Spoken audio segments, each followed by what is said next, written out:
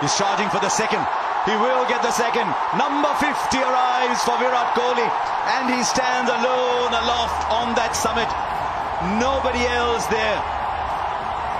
And that feeling of achievement will be tinged with a little bit of humility in the fact that he's gone past someone that he absolutely adored. But what a career this is. 50 one-day hundreds. 50 just let that sink in a little bit. Say gently. 50 one-day international hundreds. The higher you go, the lonelier you get, they say.